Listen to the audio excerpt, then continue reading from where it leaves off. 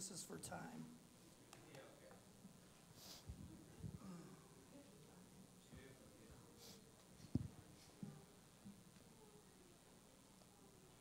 This is always the hardest part for me to get started. Um, me, I like to fly under the radar. I remember when at work, when uh, it, thanks, Brian. I hope I don't cry today. But I remember when it, they were giving me my 20 year uh, anniversary uh, award, I, I walked into, it was all managers and directors and, you know, a few of the other folks like myself. And um, when they got to my turn, um, you know, they had the overhead up there with the, uh, and it said, Did you know? And the first thing that I saw was a picture of our church building, and I thought I was going to die. I was out of the bag. Because it's, you know, for me, it's easy just, uh, you know, let somebody else uh, preach or whatever. And me personally, I, I personally believe that, you know, preaching will come to an end and we'll just praise the Lord. Amen? Glory to God.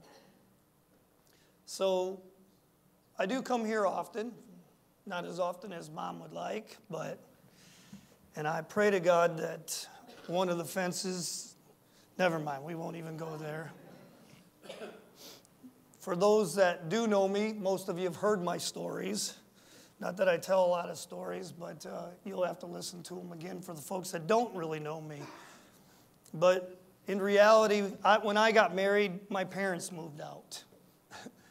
and they came to Massachusetts, and I lived in the house for five years. And, uh, and we live in a little town called Port Huron. The one thing I like about that is you always know where we live Michigan. We live in an area called the Thumb area. And. Uh, I, and to make it even smaller, our church is in a township called Kimball Township in a little town called Wadhams, which guaranteed not even the people that live around there know where it's at. Wow. But that's where we're at. And we have a little church, not many people, but that's all right with me because I know that's where the Lord wants us.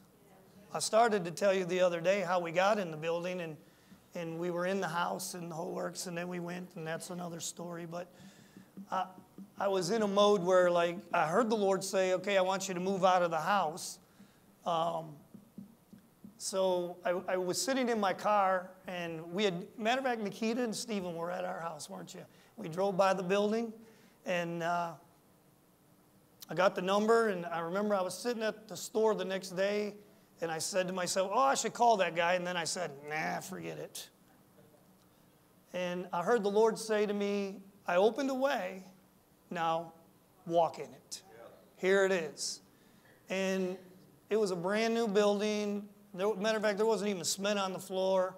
And uh, the guy came and I mean, he did everything for us. We did nothing. All we had to do was move our chairs in and, you know, blah, blah, blah, blah. But that's where we're at, amen? That's where God has us. And I really believe this that God has put us there. It, you know, I always think about Joseph. I, I can relate to Joseph. You know, he was put down in a prison cell against his own will.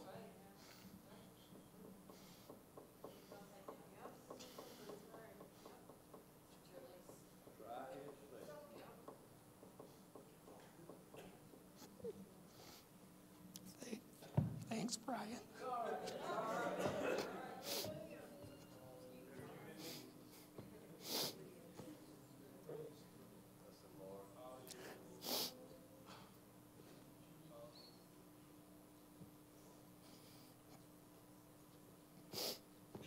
maybe we better go eat then come back.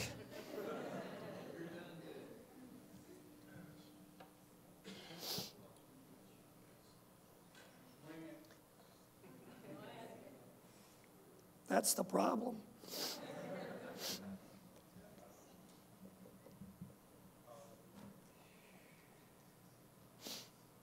But God put you in places, you know, because He has a purpose.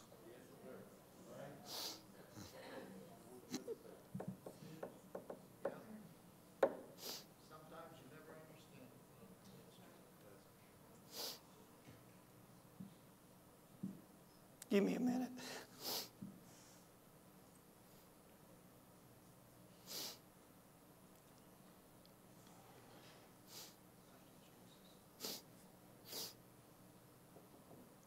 I sure didn't plan this.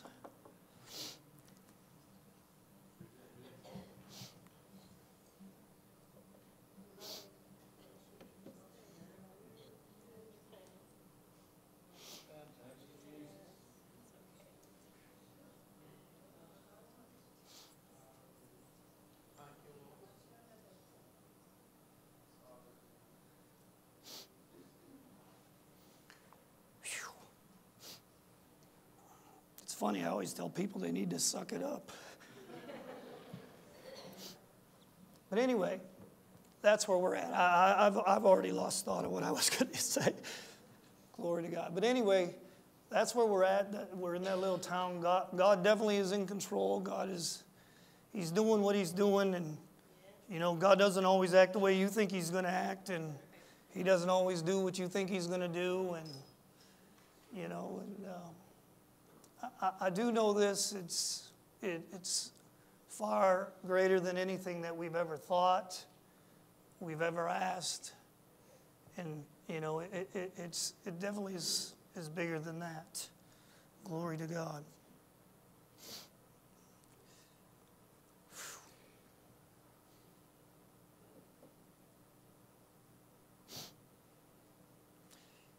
When mom and dad told me that they wanted me to come and share at the conference, I was like, you know, I, I don't personally like to get out of my comfort zone. You know, I like to, you know, pe- people think I have OCD, but I don't. I just like to be organized, you know. you know, we come to the 21st century, and, you know, what I used to call a lazy person, now they say that you have OCD, and it's like, you know, anyway.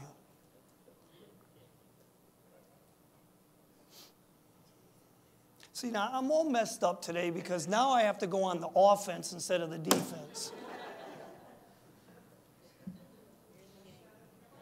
You know, it's funny. You know, I don't know. I, I'm just saying this. The, the other day when we were at church and the kids, my, my kids are all in the band and stuff. You know, my mom always says, "Yeah, us kids, we never, we we we never uh, had a musical desire or anything like that. Well, whatever, you know. I don't know. I like sports. My youngest brother Stephen, he likes sports. You know, the other two, they were weird. They like to go camping and out in the woods.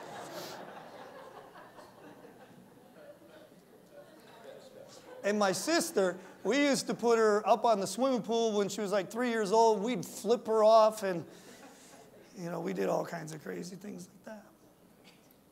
But I was just standing at church the other day, you know, while they were practicing, and I was like this, because I always like back and left handed. I really did this. I really did. And Corey saw me, my son in law, and he started laughing. And so then they started saying, Dad, you can't hit left handed. And I said, Yeah, I can. I said, I actually taught myself how to bat left handed when I was in Little League. And the first time I ever batted, I hit the ball off the fence in center field. I really did. And so now I have to go on the offense because I've been on the defense for so long. For surely, says the Lord,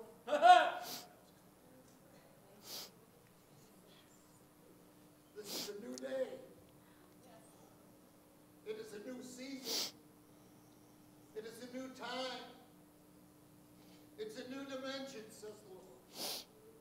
For surely, says God, my son, Thou shalt be a voice in my kingdom and in my day. Thank you, Jesus. For surely I am moving you from the past and moving you into the future, saith God.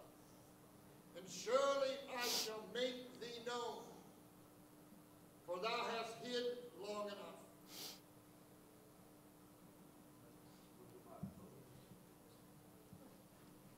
I knew I should have stayed This is not church as usual.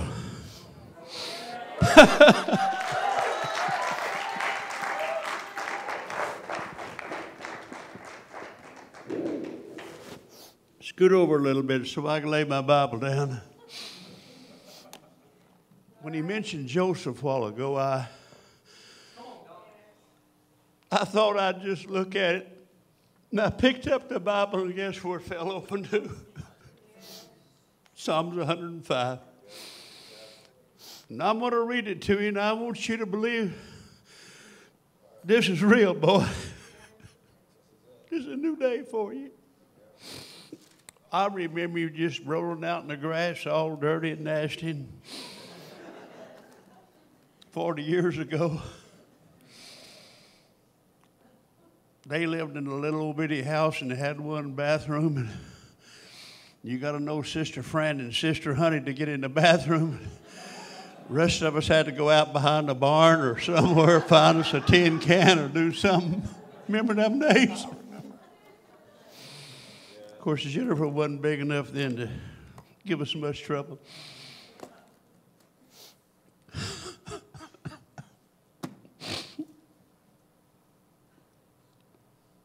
And he sent a man before them, Joseph, who was sold as a slave.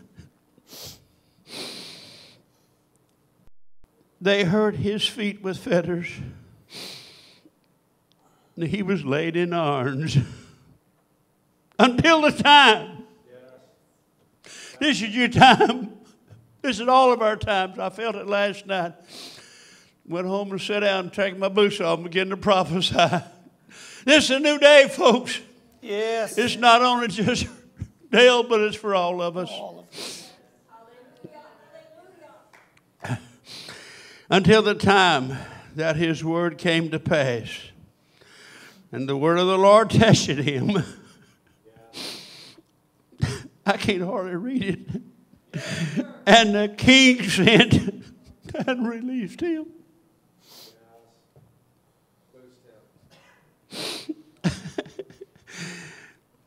The ruler of the people let him go free. We're free this morning, church. Yes, God's heard our cry. God has seen our bonds. This is a new day. I know it is. yes, And he made him Lord over his house and ruler over all of his possessions. all of it. Whatever he is today, we are. Whatever he has, we have. Yes, We've been set free. yes. Going to be a change. This, this, this year is going to change.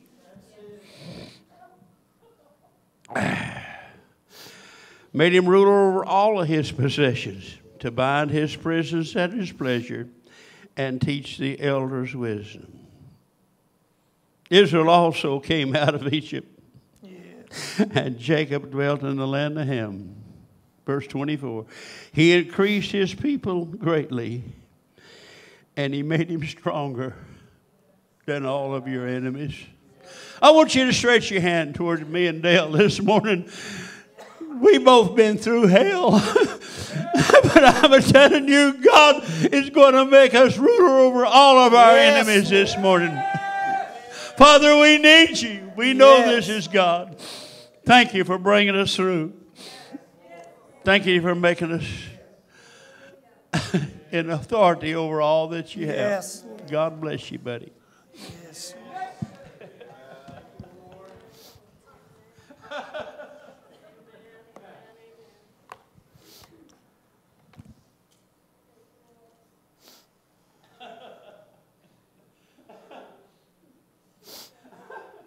Yes, Father. When my mom and dad wanted me to come, and I asked you know, I, like I say, I hemmed and hawed and, and, uh, you know, I hem and haw, but the reality is I know down deep inside what's going to happen.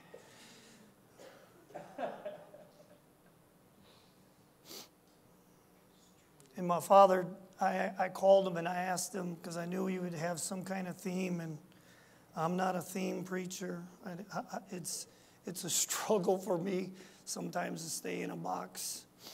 Not saying anything negative about that, but I'm just saying that's who I am.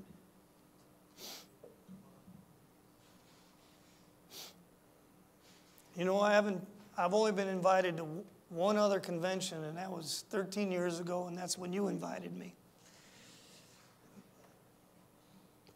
It's okay. Never bothered me. 13 years ago, May. Oh, no. Takes, I'm sorry, nine years ago, May. It was 13 years ago they were here. We came and looked at this church, and Brother Varner was at the other church, and he prophesied and said he was the fourth priest, and he declared about us going out of Grace Emmanuel, which we already knew because we'd already discussed. I don't have time to go through all that. Most of you know the story.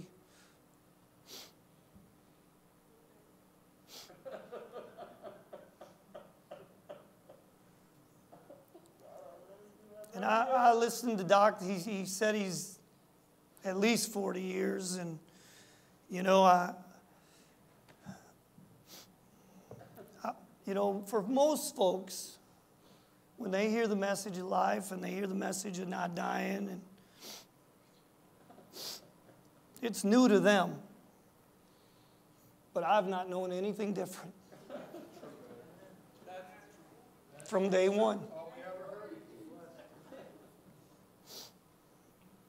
When I was five years old, we started going to Grace Emmanuel. Six, 70 miles away, we drove to church to hear the word of life.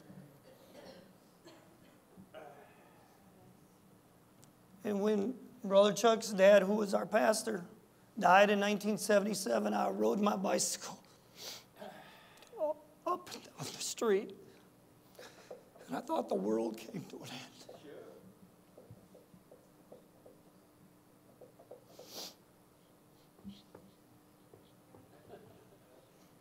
But I didn't stop believing.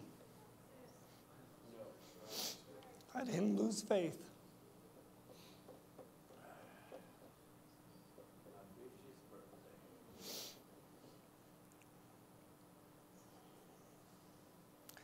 1998, you came to my house in November, and I was ornery. Anybody ever been there? And they thought they would surprise me, and they showed up. Parked the car around the corner, remember? I never forgot what you said. Sometimes God gives us trials us stronger.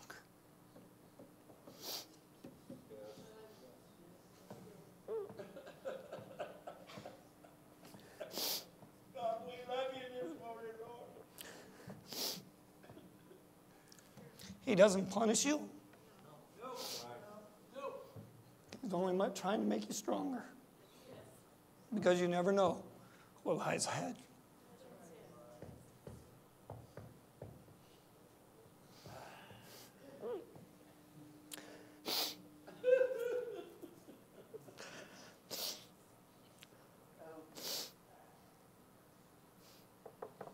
Sorry.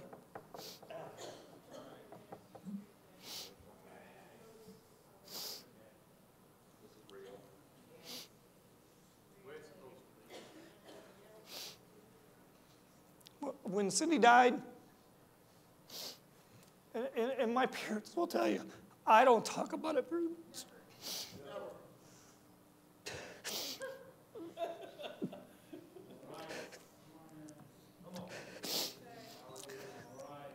God, it's a new day for us. We need you this morning, Lord.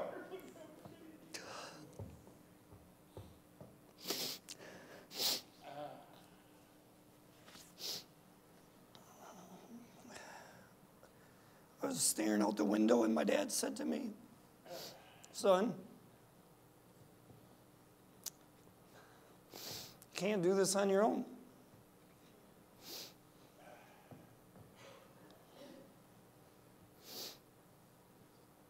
Remember? He said, I know how you are. You'll try.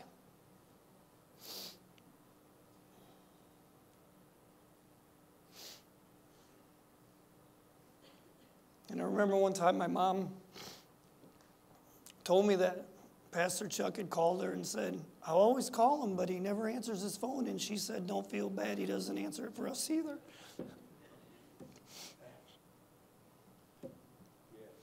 Because it came to a point that no person, no one could help me. Only the Lord. No phone calls. I heard the Lord say to me, we weren't wastelands, we were habitations.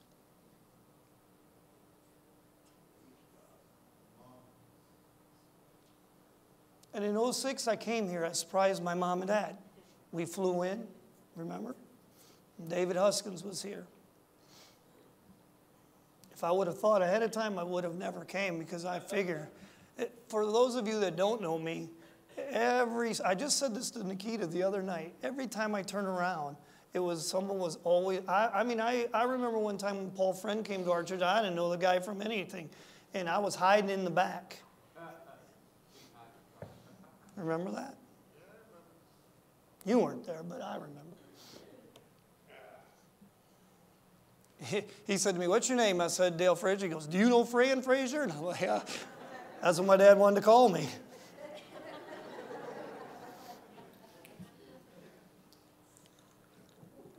He told that to my oldest son, and my oldest son just doesn't let it go. I know, I love my mom.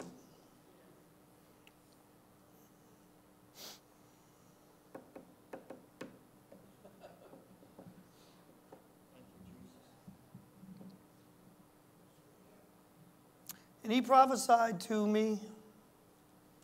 He said he didn't want to, and he said, You probably don't even want me to. And I said, You're right. And see, because when, whenever, you know, I, I, I, don't mean to be mean or negative or anything like that. I, I, I'm just telling you my heart in this aspect that I, I grew up with an understanding and a belief that I don't, you know, don't take this wrong, but I, I don't need somebody to prophesy to me. I, I really don't. Yeah, that's all it does. It just, uh, for, for me, primarily, it's, now I'm not saying that God can't give me direction and all those kinds of things, because He does. I, you know, from people, I, I, mean, I mean, I get more sometimes from people just talking to them, and I can hear God talk. I really do. And I remember I left the convention, and or yeah, I left, and I, I, uh, you know, I got the little thing, and I listened to it like a million times, and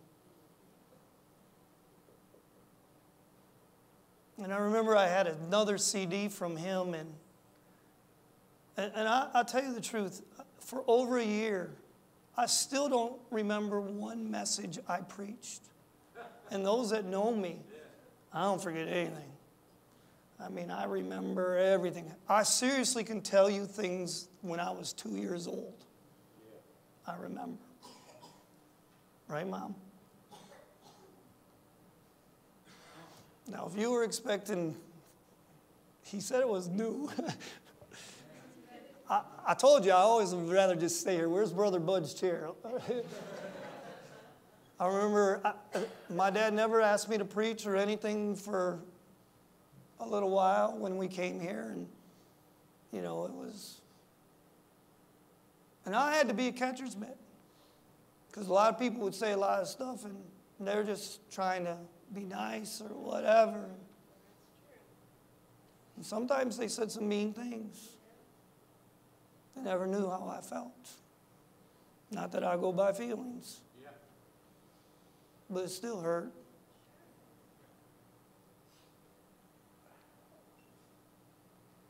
But I was sitting in the parking lot at work at lunchtime, and I was listening to this CD by David Huskins, and I can't even remember everything he was saying because I, I like to listen to CDs, and you know I don't, you know I don't care if I preach someone's message or not. It doesn't matter to me because it's from the Lord anyway. But um, he said something about Joseph and how the Egyptians wouldn't eat with a shepherd, and it was an abomination, and all those things. And he, he said something about, he used the word occupation, and I, I remember I went and looked. And when Jonah went in the boat, and the boat was getting crazy, and they said, Whose fault is this? And they said, It was Jonah's. And they asked Jonah, they said, What is your occupation? Remember, I came here and preached it. And he said, I'm a Hebrew.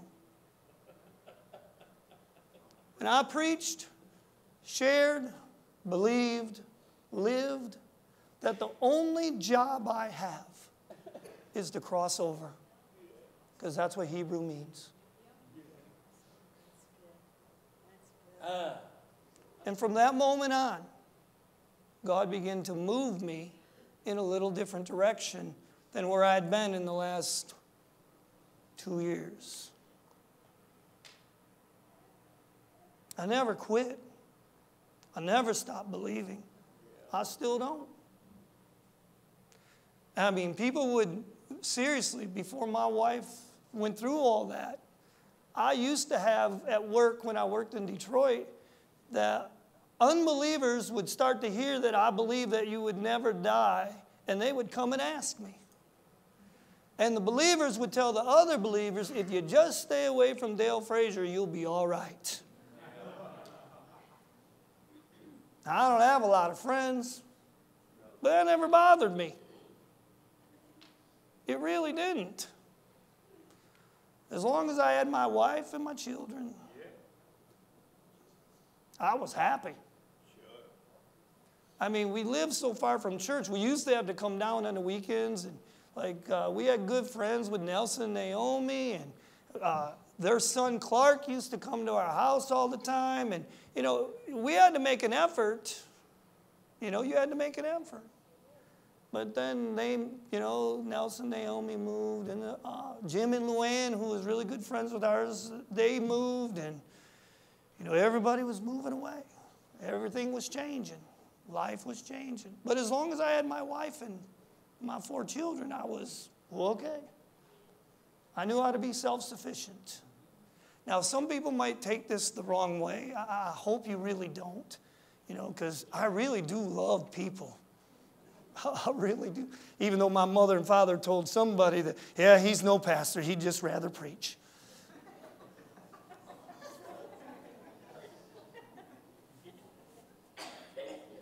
Shoot my gun and run, I think I heard a preacher say one time.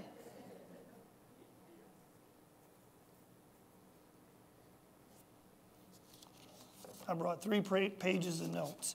I probably should have realized when I used the one printer and it was all faded. I said, Dad, there's no ink in this thing. What's the problem? He said, Well, use that one over there. So I didn't want to waste paper, so I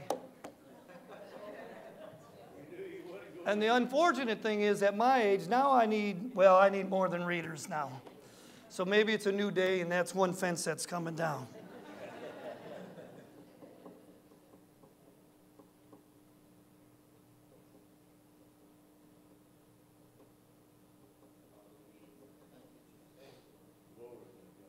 Well, I never stopped believing.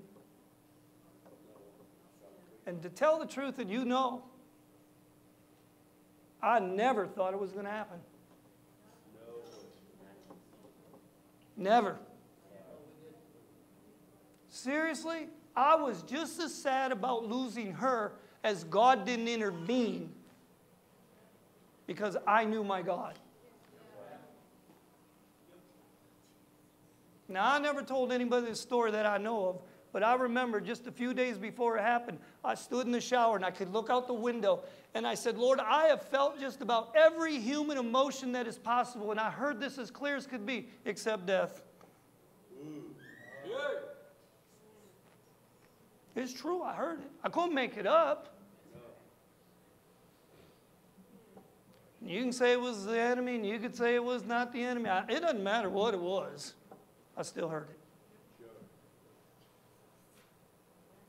And I really believed. I mean, I believed when I saw doubt in other people's faces.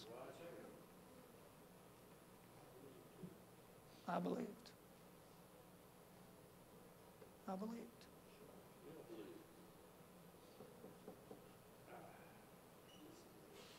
So I had to readjust a little bit. Yeah. All right? Okay, God, this obviously was out of my control. I really don't think that you were punishing me because why punish me this way? God doesn't work like that. I seriously did this in 2002. We used to have these quarterly meetings, and Brother Rodney Fontaine was here, and we were at Brother Johnny Leitner's church in Bay City, Michigan. And I called and asked if I could share because the Lord had laid something on my heart. And I remember God telling me, or me telling God, that He was so great that even if He allowed my heart to be ripped out, He would still raise me up. Yes, Lord. And I just had bought my daughter, Rebecca, a silver trumpet. Had no problem getting it because we bought it on eBay brand new from somewhere in Australia. But Danielle wanted a brand new clarinet. And they were a whole lot more money. And every time I would bid on one, it seemed like I was going to get it. And then I'd lose the bid. And I kept saying to the Lord, How come I can't win the bid. And he said, It's not that you can't win the bid, you're not willing to pay the price. A woodwind. A spirit filled man must pay the price.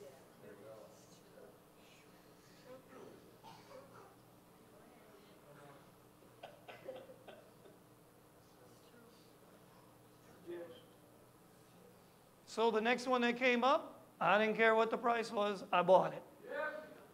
My brother said this morning about budget. I have never, ever in my entire life lived with a budget. Never. I never will. Do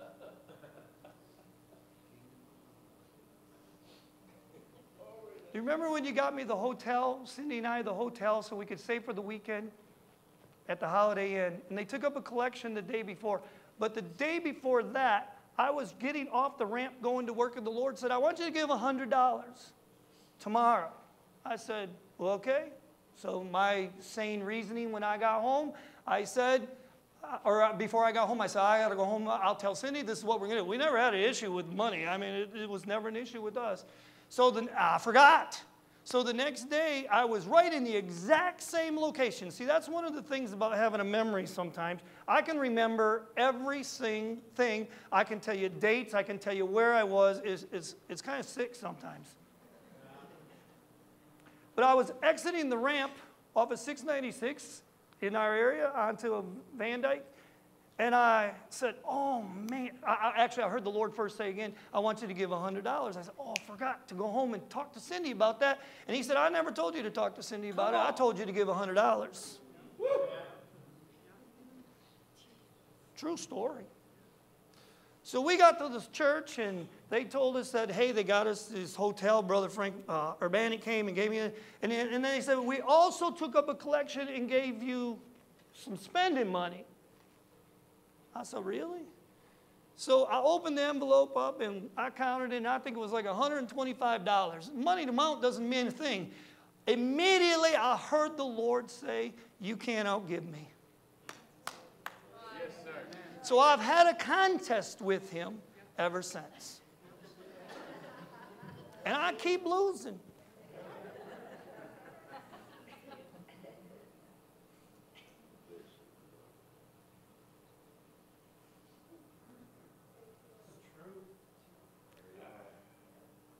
I wanted to share about God created the. Uh, let me just read it. I'm not going to preach it. But he, it says in Genesis 1 2, it says, And the earth was out without form and void, and darkness was upon the face of the deep, and the Spirit of God moved upon the face of the waters. And the waters, you know, it, it, it says figuratively it's juice. By euphemism, it's urine or semen. I, I'm, I'm be careful what, how I'm saying this, but the reality is, is God wanted to produce something. Yes, he did. You're exactly right. And if we go down a little further, we find out that He wanted, let us make man in our image and likeness. And Father God, in His greatness, reached down and caressed Mother Earth, and He pulled out a man. And then out of the middle of that man, He pulled out a woman. Yeah. Right. And God actually called Adam the Son of God. Yes, he Sure did. did. And this is the one thing that I really believe that a lot of folks just don't really understand. That is, even if Adam would have never fallen, Christ was still coming.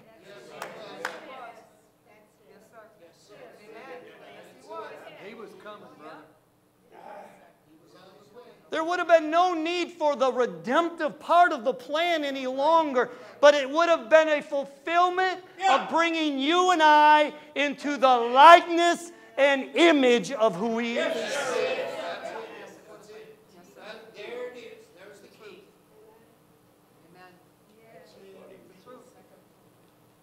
I, I've said this here, and you know, I, I, I believe every single thing that everybody preached so far. I, I, I really am, you know, I, I'm a life preacher. I mean, I've been around Doc, and, uh, you know, it, it started with Brother Sexton, right? And all the preachers that we, all the pastors we've had there, and I, it's the only thing I know. Yeah. Two weeks before Cindy died, I, I was cleaning the jacuzzi in, in the bathroom, and, and I, I said, Lord, when no one else believed, I believe. I believe. No one else might be believing, but I believe. Yes, sir. Yes, sir. Still believe. I refuse to not believe. No. It's true. You gotta believe. I never told anybody this, but I literally saw her laying in the casket before it ever happened. Sure. Prophets ruin surprises.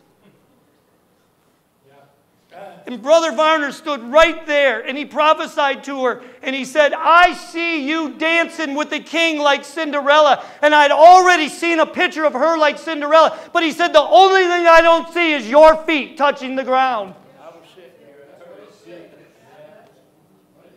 Oh, I didn't want to. I, I didn't want to believe it. And when he was in the other church and he prophesied to her, I said, "What in the world is he saying?" And I've come to this realization that even if I believe in life, God's bigger. Yes, sir. His purpose goes beyond our faith. That's a try. God is bigger.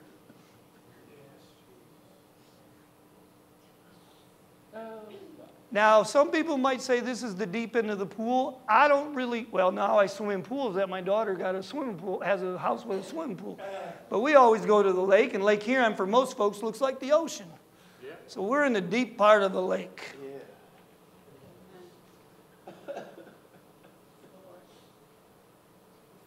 And if you can't swim and you start to drown, maybe a mermaid will get you.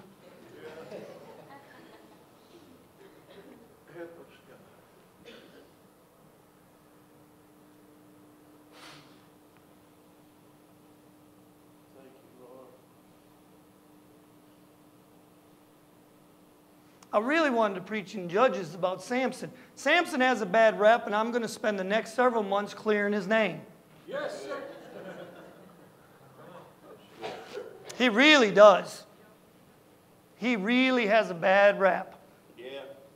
But the Lord spoke to me recently and began to show me this that most folks look at what he uh, uh, did or what he was like or whatever, they do it from an Ecclesiastes point of view of looking at it from under the sun. Unlike Paul, who at midday, where's the sun at midday?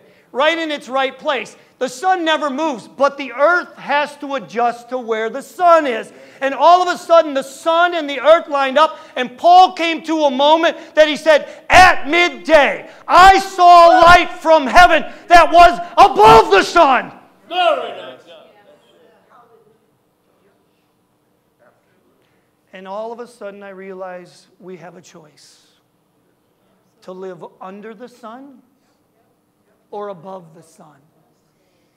I started to say earlier, a lot of folks, you know, you know, thy kingdom come and thy will be done on earth as it is in heaven. And I'm not belittling, but I'll tell you what, I'm not looking for a better car, better house. come on, No way.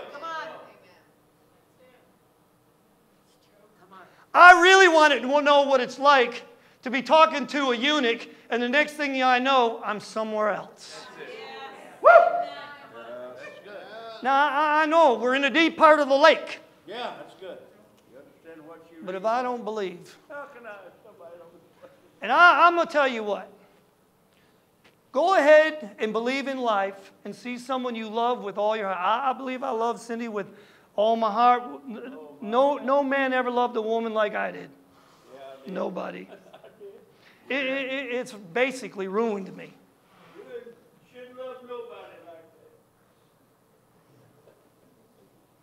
But I believe from the moment God ever put her with me, I, I'm not a firm believer that God puts every marriage together and all those kinds of things. And, but God has sovereign moments that show up in our life.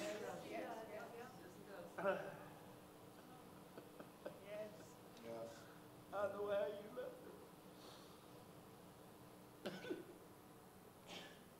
I never got mad. I never got angry. No. Not one time. I guarded myself. Yeah. I refused to be mad at God. No way. you know what I learned? It took more power to stay on the cross than to get off of it.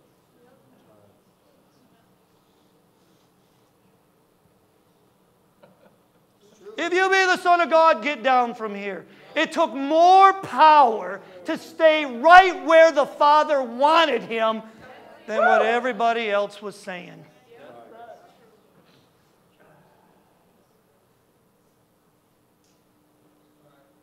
I wish for the visitors you could really have heard a good message.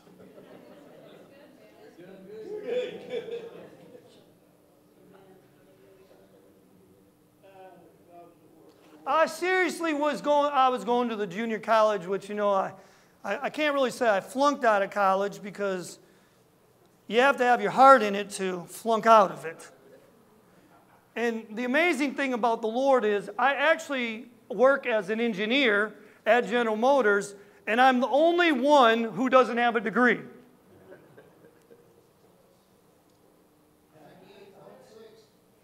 And I remember, and oh, by the way, this is a freebie, but my boss, we all just got some raises, and the boss just gave me the biggest raise out of the whole crew. It's not that big a deal to me. Because I literally told my boss that I'd give him back every penny if I could have my wife back. I'd live poor.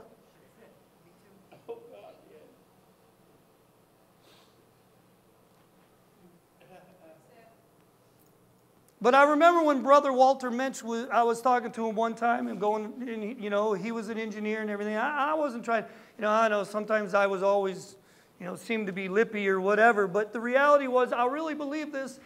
I told him I went to the school of Joseph. I really did. Because that was what was in my heart. that God was bringing me away that wasn't ordinary for everybody else. You think Joseph was ordinary? Now, you might say, well, do you think you're a Joseph? Well, in principle, in type, we all are. We're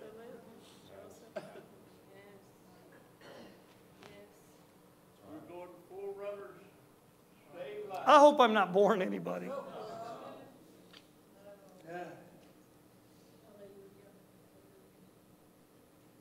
You remember when I was here what I preached about?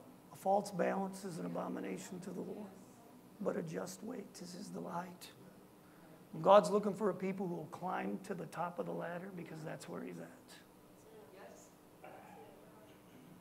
I laid my head on a rock for a pillow and I had a dream. Jacob saw angels. I saw myself. Ascending and descending. I did. You drew it the other day. We start in God, we end in God. We ascend, we descend. We do what, it's a great circle in God. And I'm not blowing smoke, but I've seen myself in the volume of the book. But I'm not alone. It's the only thing that ever gets me through, Doc. Is you have to know that God is God and He never abandons you. Never. Never. Never. Where we are don't change who he is. You know what it's like going to church? And you sing a song, God is good all the time. And He is. Yep. He never changes. Your circumstances do not dictate how God is. The only thing that has to change is the way I think about it. Now, I'm not saying that I didn't think God was good, but I was starting to believe that He was sleeping on the job. But then I realized the job's not over.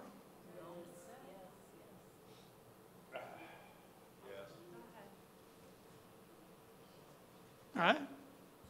It's not over.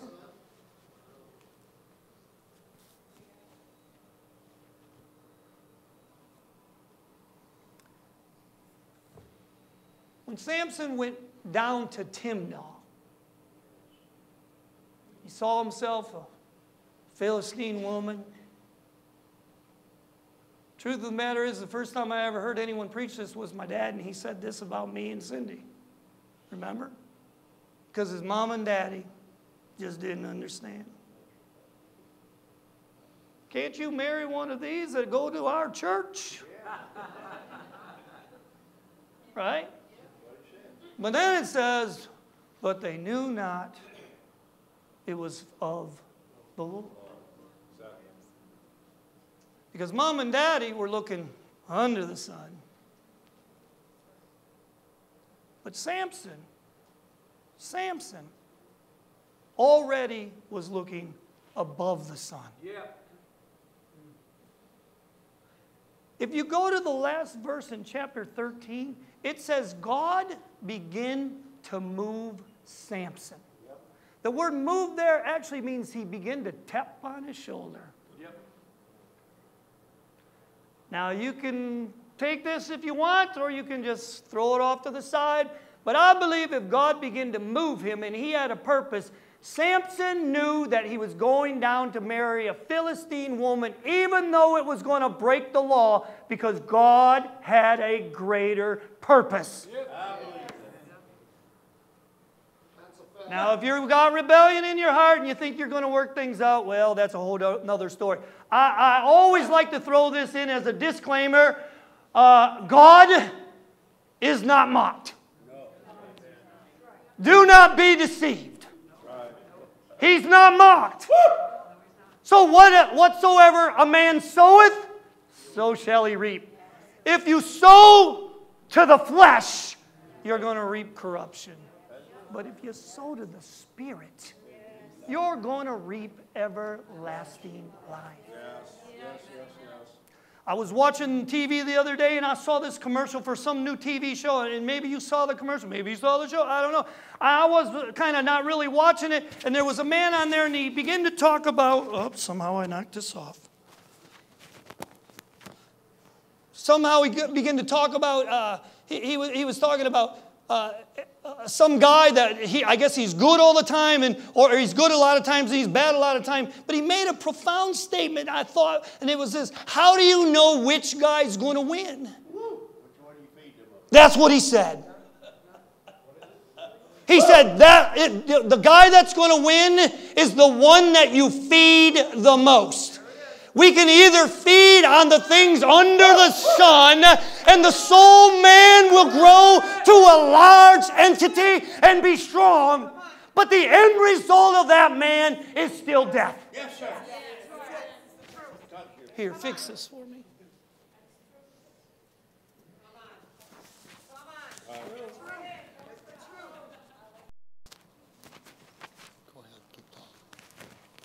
But if you feed the new man, the reason most of us aren't hungry for the things of God is we feed our souls with junk food of entertainment.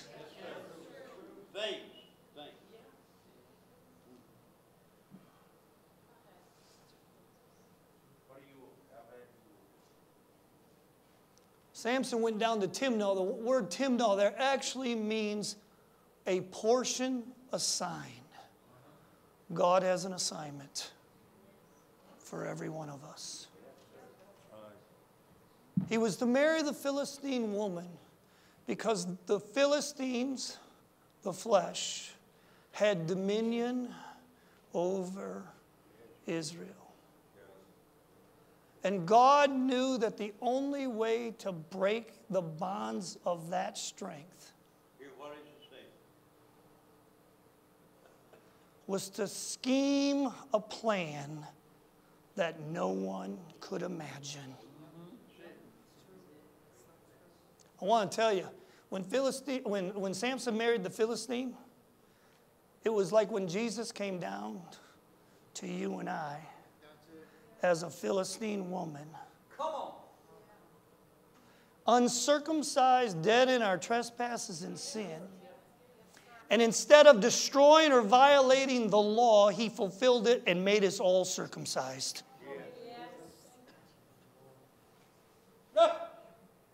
He brought us into his realm. He married us. You know, people don't like it. What happened to the, you know, with Samson and, and, and the whole works there. And, you know, and the, I haven't got this far yet, and so I don't, you know. Truth of the matter is, they thought he was a whoremonger. And let me tell you something. If Jesus decides to stop in any church he wants and have a good time, that's his choice. Because he stopped in your life.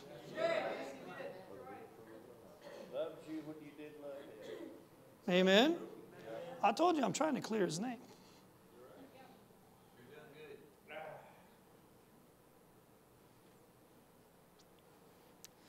I don't know how many years ago it was exactly.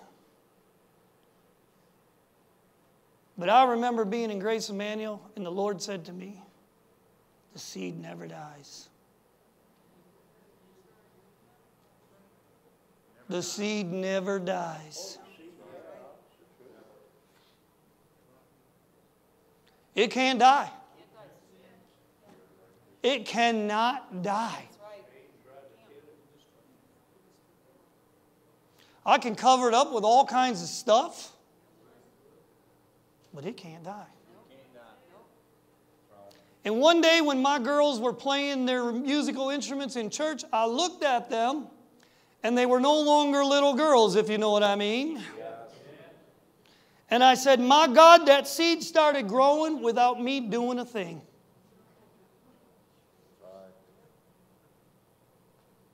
I didn't have to do anything.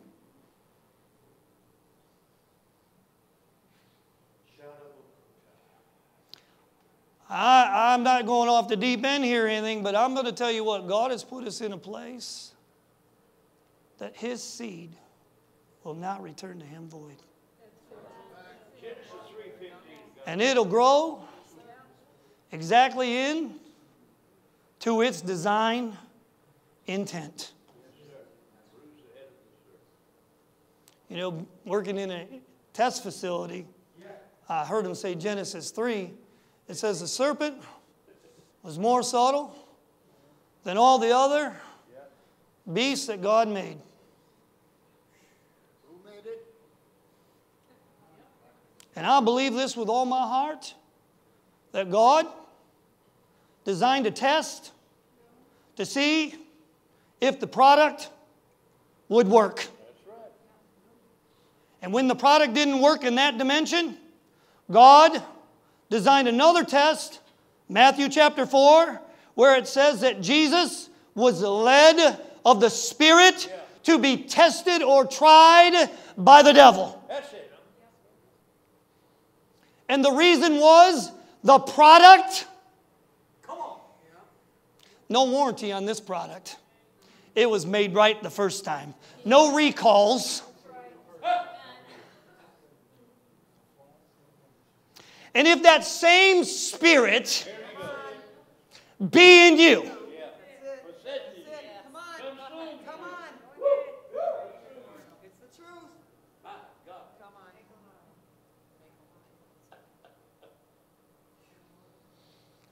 Come on. I, I, don't want to, you know, simplify this too much. I, I get wore out sometimes. You know, uh, I, I, I like to study and I, I like to read and I like to hear new things and I, I like to all, but you know, under the sun,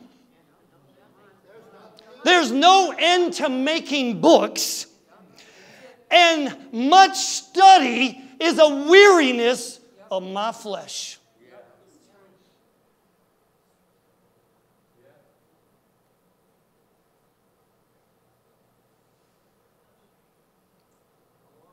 God is shooting us into a new orbit that we have never been before.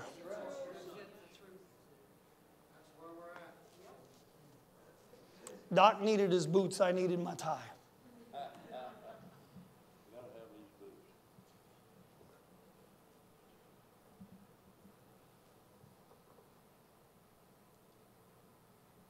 God's had a purpose from the beginning. God will fulfill his purpose. You're going to have to hear my heart. But he's brought me into a place whether I live or die. It makes no difference to what he's doing.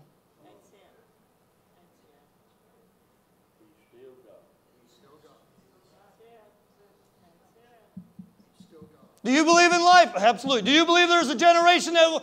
You know, it's funny. Paul said, We. Can I, can I read something? I- you know, I, I put five stones in my bag this morning. I didn't know if I was going to use them all.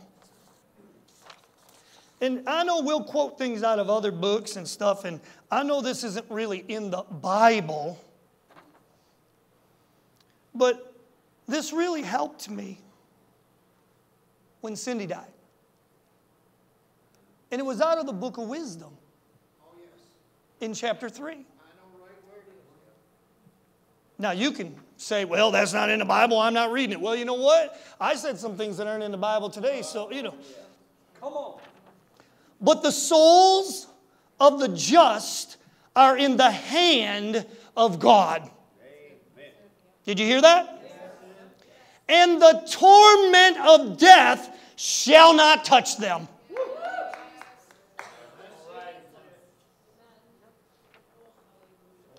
In the sight of the unwise, they seem to die. I remember one thing that David Huskin said was that when church folks die, they're really just sleeping, and there's folks in the church that are still dead.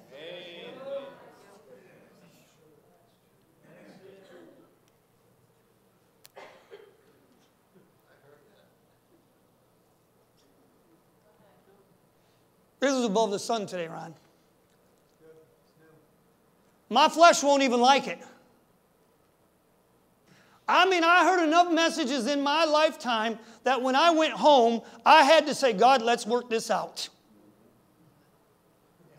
Do you know what one of the hardest messages that I ever heard someone preach that I absolutely did not like?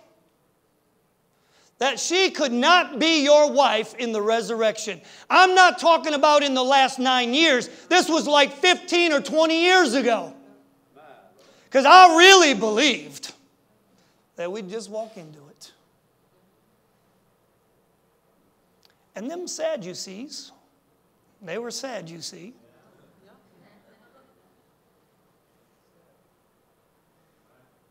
Didn't understand. And the reason they didn't understand is because they did not believe in the Spirit. Jesus told them in one sentence, or one, one, one of the Gospels, he says, You err in the Scripture. You err in the Scripture. You think you know, but you really don't know. And he said, Haven't you ever read? He is not the God of the dead, but he's the God of the living. Now, I heard Brother Justin say to Brother Doc last night about Brother Varner's voice, GC. Now, I listen to Brother Varner just about every day. Yeah. And it makes me cry Come on. to think that he's not here. He died too quick. I bawl him out every day.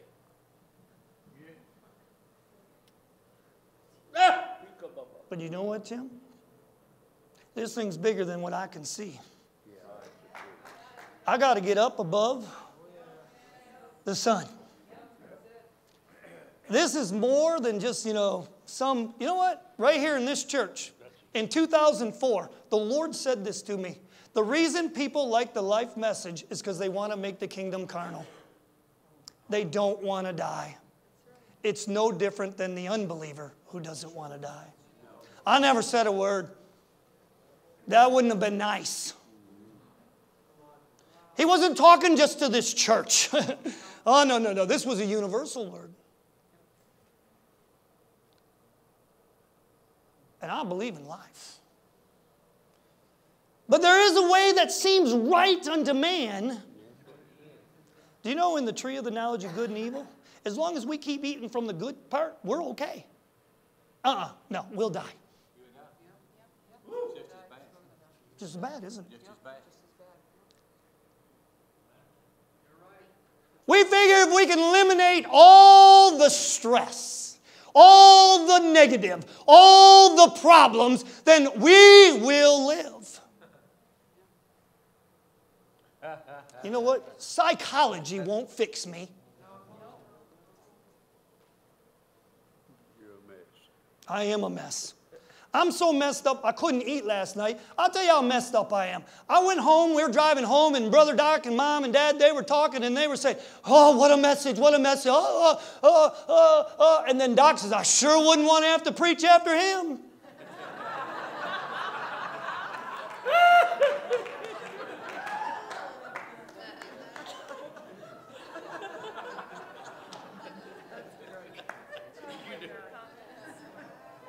I've done that for meetings. I knew you did because I was kind of quiet. And my mom gets a little upset when I get quiet because she always tells me, Boy, when you're on the phone, you can talk. She goes, Maybe I need to stick a phone in your ear.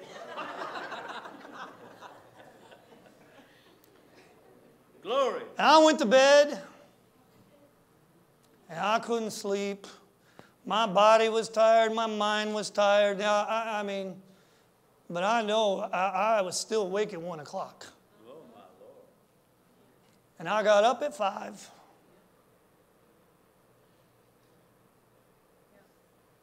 I didn't even eat breakfast today. Do you know why? I don't know why. I was thinking maybe you could tell me.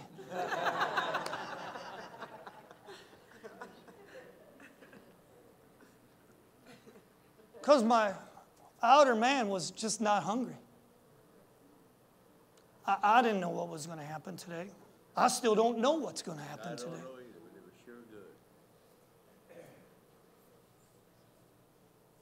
I better finish reading this. In the sight of the unwise, they seemed to die, and their departure was taken for misery. And they're going from us for utter destruction, but they are in peace. Come on.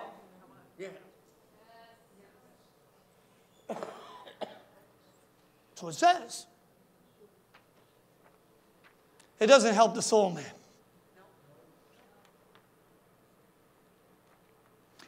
And though in the sight of men they suffered torment, their hope is full of immortality. Woo!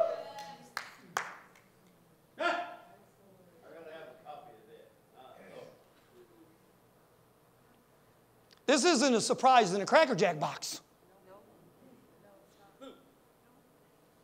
No, sir. Do you know something? I don't care how bad you want something, that doesn't mean you're going to get it.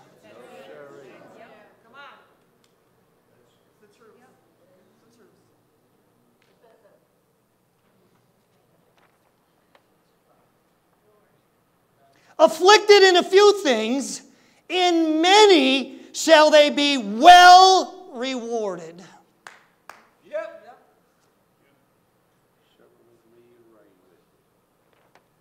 Oh, I'm not done. Because God has tried them and found them worthy of Himself. I wonder what kind of car Enoch's driving right now. And everybody's waiting for Jesus to come back, and if this is such a great place, why hasn't He showed up yet? And every time I come out of the restroom, whether it's taking a shower or whatever, I wonder why didn't he plant himself in the 21st century? I would have. Must mean there's something else going on here that's above the sun. As gold in the furnace, he has proved them. As a victim of a holy cause, he has received them. And in time there shall be respect had unto them. Come on. That's Jehovah Witnesses teaching. I'll tell you what they teach. You ready? They shall shine and shall run to and fro like sparks among the reeds. They shall judge nations and rule over people, and their Lord shall reign forever. See, see, your mother and Honey are sisters. And Honey's going to be a judge, see. Uh, she'll probably be over there with. Because they bossed me me and your daddy around so long. God been training them to be judges. Woo! No! Somebody! Can you hear this? I, heard. I, I said it this morning coming to church. I think this thing's bigger than me. Yes, it is. It's bigger than my life doctrine. Yes, sir. It's bigger than my life message. Come on. Come on. Oh, watch this. It's bigger than death. Yes, sir. Paul said it this way not life, not death can separate me. Acts 31. Acts 31. There's something for Good God Almighty. I'm just sad that I had to lose my wife to understand this. And I pray and thank God every day that I took it upon myself without choice, but that nobody else has to go through it. It's a living hell.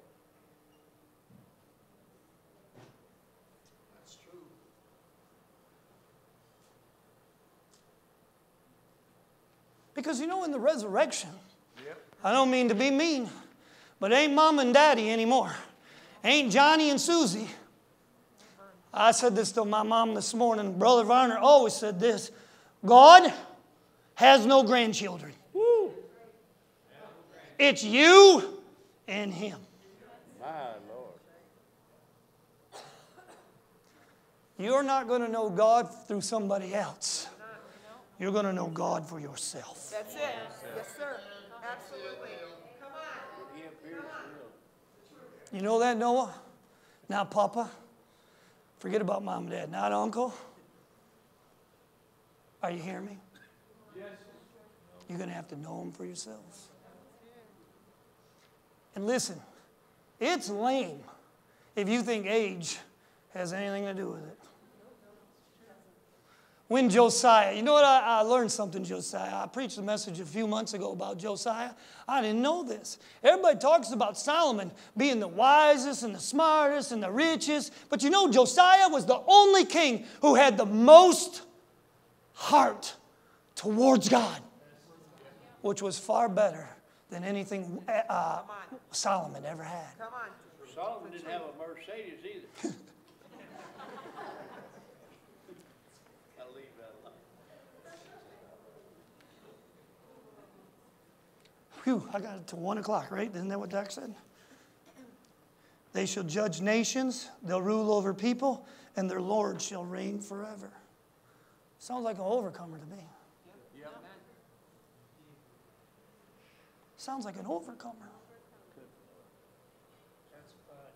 The truth of the matter is, brother, God started tearing fences down on this whole path. Yeah. Now, I'm not saying there aren't more to come down. I might be afraid of them, but I'm not saying there aren't more to come down.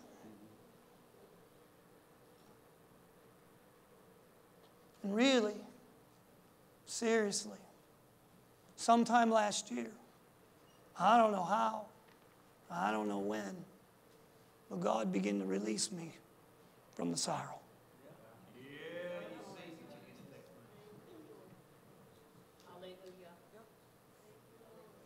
I couldn't change it. I settled everything. I seriously believe this. I really still do. That God says those that have gone on, He's going to blow a trumpet and they're going to get up. And I found out that God has an alarm clock reserved. And it's you and I who will just walk down the street and graves are going to begin to open. But they ain't coming back to play house.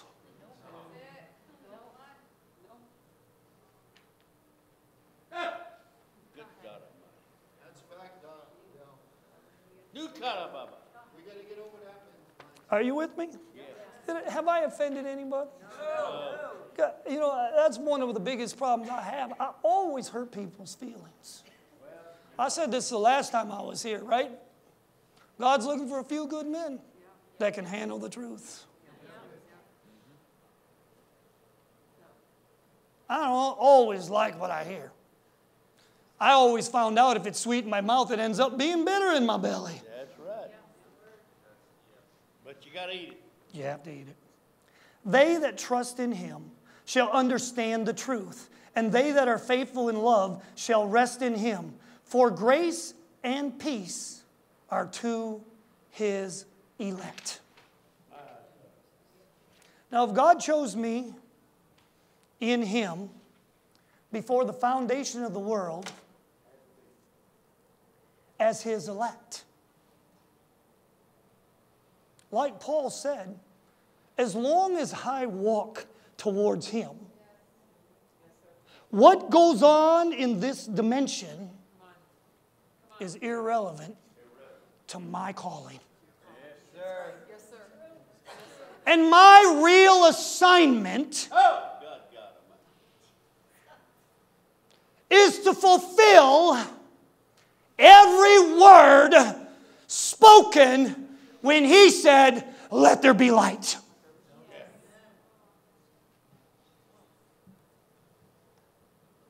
Let us make man. We were part of that. Ah. Ah! Who ah! Go, God, God Almighty. That's fact.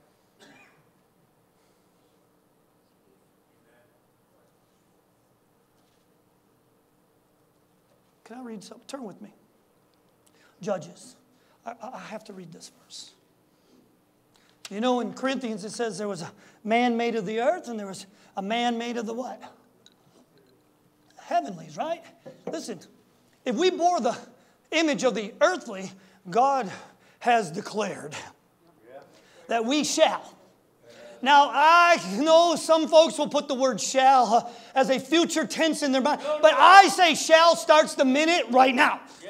It's a, it- it's a, a, a- a- it- is an ongoing thing. It, it- it is, hey, it was a moment ago. Listen, I, I had a past and I have a present and I have a future. I, I'm not doing away with any of that, but I'm telling you, coming into God is an ongoing thing.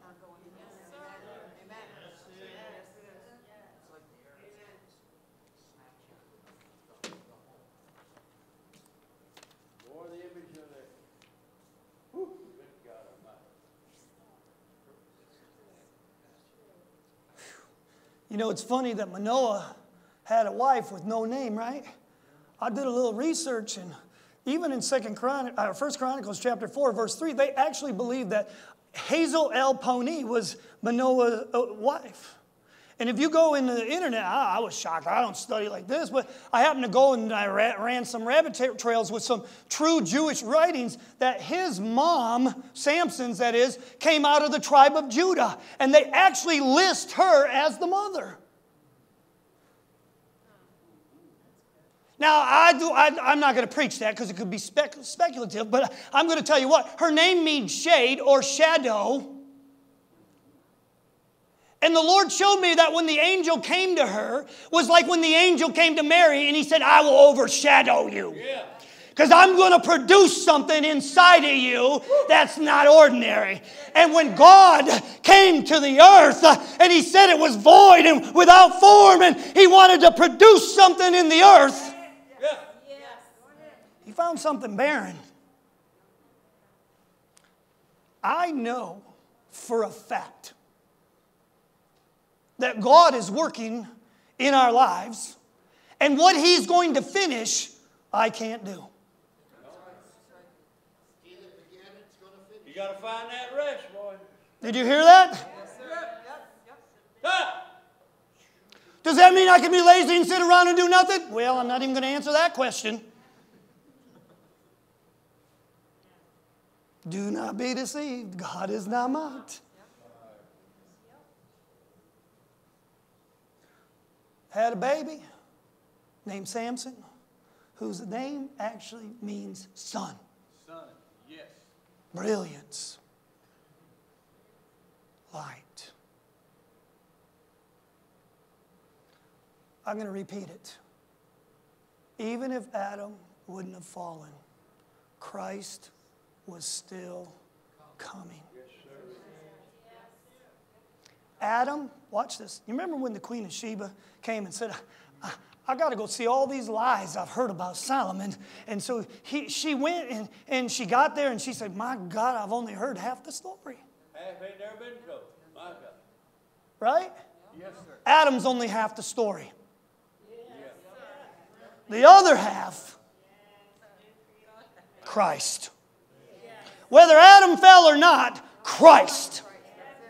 That's what makes a whole man.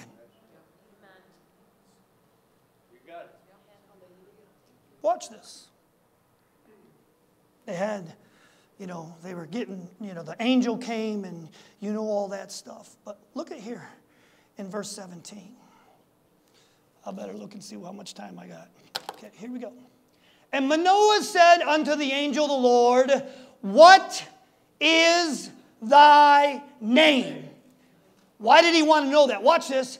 That when your word comes to pass, we may know who to glorify.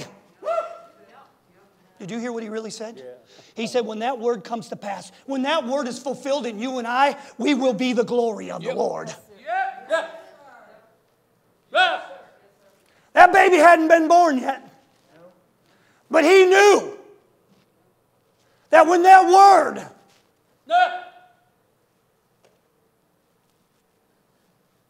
People are waiting for angels. I have something to tell you about angels. When Cornelius had an angel come visit him? Yeah. Why didn't he tell him everything? Because it wasn't for an angel. He told, the angel told Cornelius, You go down and get Peter. I need a man. At no time did he ever say to any angel, Sit at my right hand. No, sir. At no time did he ever say, I'm going to put the fullness of the Christ in an angel. No way. That whole chapter deals with man's going to be. Just spirit. Oh, Baba.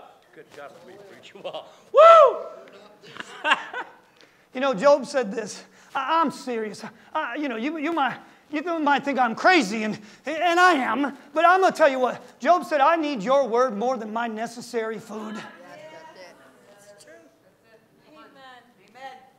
No! Amen. I've ate good, I've ate bad, but we've eaten. But none of it, none of it will give me life. No. He said, Your fathers all ate manna in the desert, and they are all dead. But I'm the true bread. Just like Samson, he came down Okay. to destroy the flesh. Get the honey in that line. Woo! Good God Almighty. God's word will be fulfilled. When Balaam and Balak had their little dialogue, he said, Listen, God is not a man. 319. Glory to God. That's our first problem right there. Yep. Preach, boy. God is not a man. Got to get a hold of that. But in John chapter 1, it said that one that wasn't a man became flesh. Yes, sir. Yes, sir.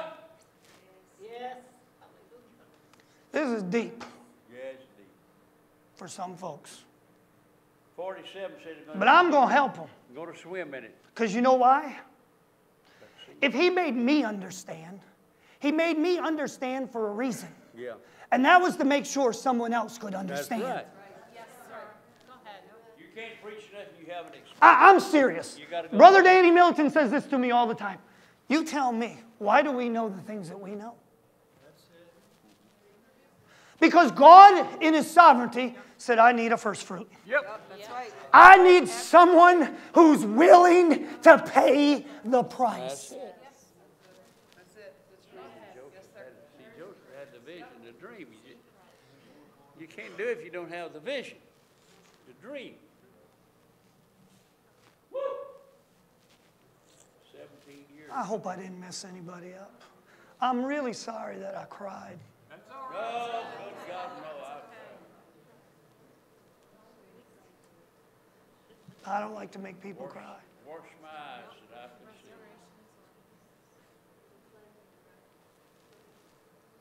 I may never forget her. But you know what? She's in his hands. But you know what? So am I. David Huskins stood right here and he prophesied to me. He says, You may not believe us, but she's with you. I said, You're out of your mind. Because I was only looking under the sun.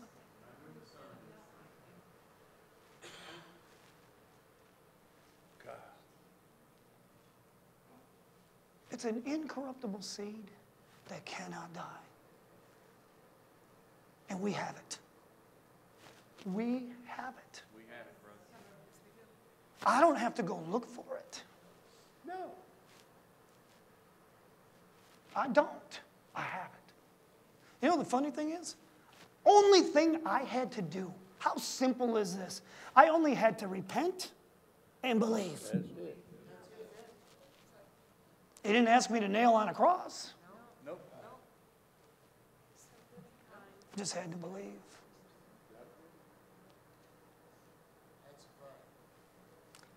I didn't get to all my notes. You did good. I can't stop.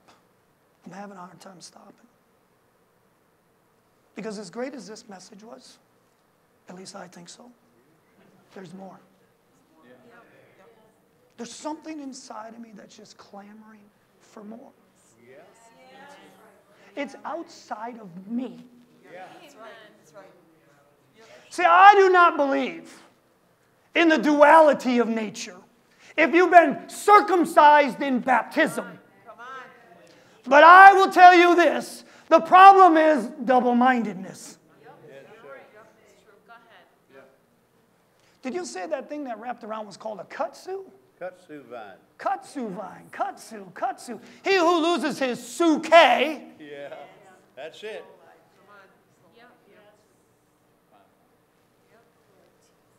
That old girl named Sue, Yeah. always trying to cut things off.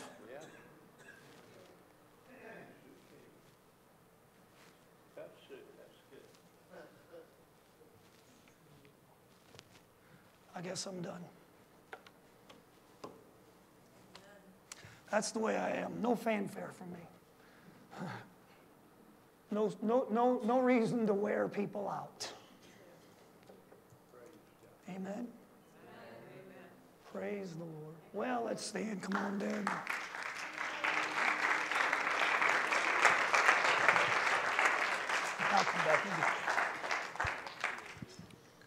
Praise God.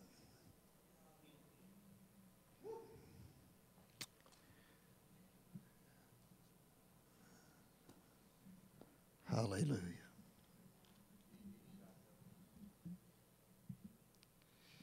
Know, can you just sit down for a minute? I, I, I'm not trying to, I'm, I'm not going to preach, uh, but, but last night the Lord spoke to me to share something. and I didn't know whether I was going to share it this morning or um, tonight.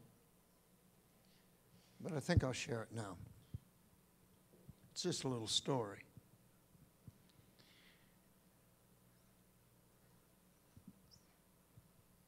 Well, Justin said to us last night that we need to push back the fence.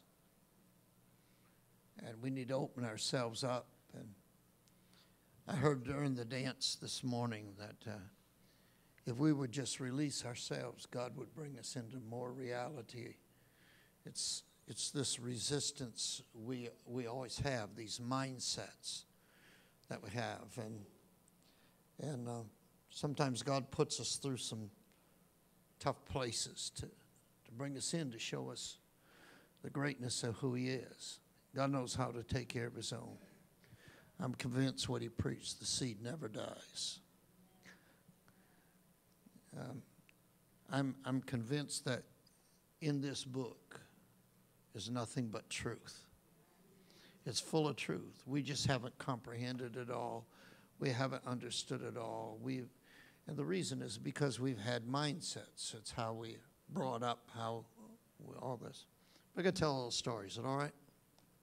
I don't know if this is a possibility some of you other people might know, but uh, oh, back about 25 or so years ago, when um, when we first came here, I, I met a man from over in the Worcester area, and um, he'd come out of the uh, the old Latter Rain movement, and he was a good old guy, and he was always trying to plug me into folks I'd never heard of or anything like that. And so he handed me this tape one day, and it blew me out of my mind. And God will put you into areas that'll just blow you out of my change to change your outlook, to change your your thought life. And and um, Brother Doc is read out of Ephesians, and you read out of Ephesians, and got to stay out of my Ephesians. That's one of my favorite books. But uh, anyway, we the time came when Sister Fran and I actually met this guy face to face down in Granby, Connecticut. Going to tell you this story. Guy was out of, um, at the time, he was out of Seattle area of Washington. And his name was Dave Davies. But when he was young, did you know him, Randy? Did you know Dave Davies? Randy knew him. But when he was young, he rode with the Oakland chapter of the Hells Angels. And what his job was as an Oakland chapter of the Hells Angels was to deal with the problems when they had them with other motorcycle gangs. And there was seven of them, and they rode up into Seattle area. Actually, it was in Tacoma. They rode up into Tacoma. And their job was up in Tacoma was to get rid of some of these guys. And they killed three guys. They shot three guys from this other chapter up in Tacoma. Dave Davies and his partners got caught. They got put in prison. And he had three life sentences. And he was in prison. And while he was in prison, he got born again. And he was in this group, it was kind of like a evangelical kind of group, you know, that he got born again in this group. And shortly thereafter, after he, I don't know how long it was, shortly thereafter, there was a charismatic group that came, or a Pentecostal group that come in. And Dave got the baptism of the Holy Ghost.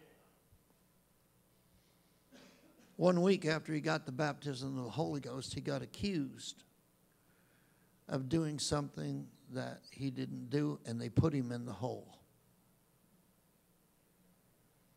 And he was down in the hole.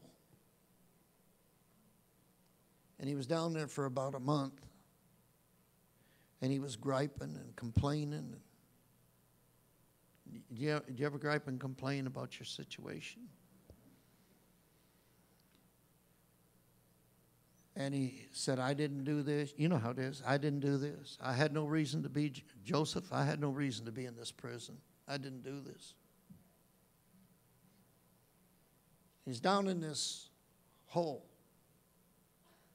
fresh with the baptism of the Holy Ghost.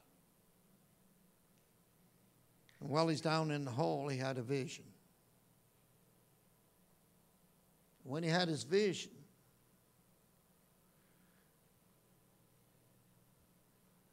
God was asking, He took him back to before time was, before there was anything, before God had made the earth, and before God had made anything, and before He said, Let there be. And God began to declare dates and said, I need this done, and this done, and this done, and this done, and this done. And Dave Davies said, Out of the midst of nowhere, I heard my voice answer and say, I will go.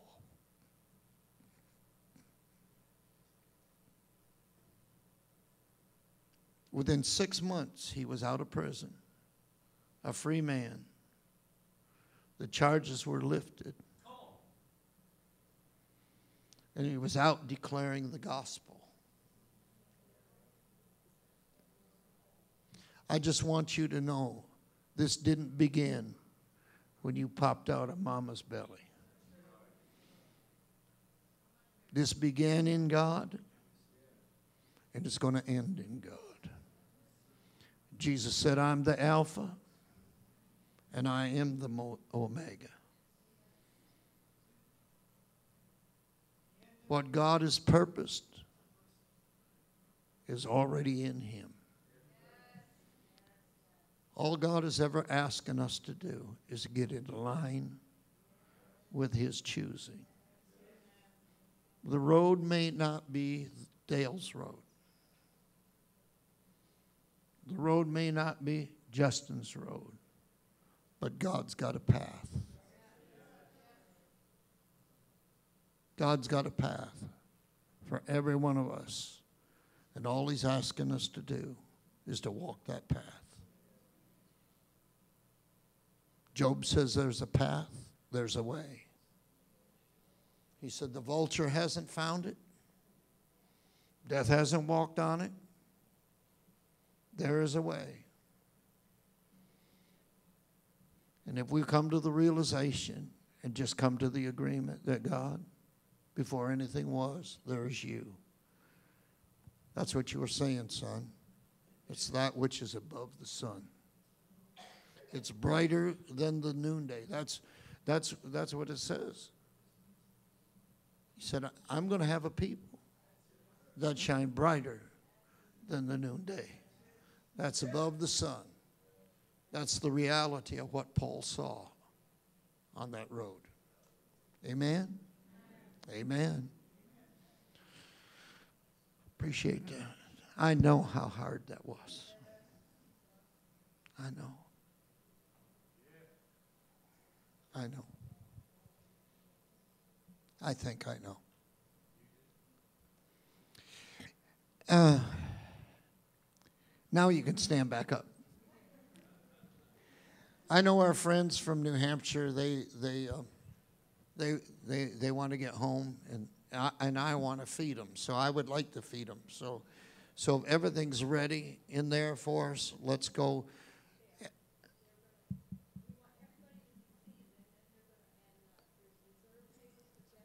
Okay.